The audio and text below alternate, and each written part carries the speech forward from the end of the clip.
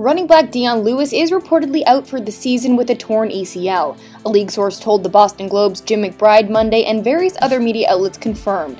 Lewis suffered the non contact injury in the third quarter of Sunday's 27 10 win over the Washington Redskins. Lewis had recorded 622 total yards and four touchdowns and was an integral part of the Patriots' offense so far this season. Running backs LeGarrette Blount, James White, and Brandon Bolden will now have a huge load to carry in his absence.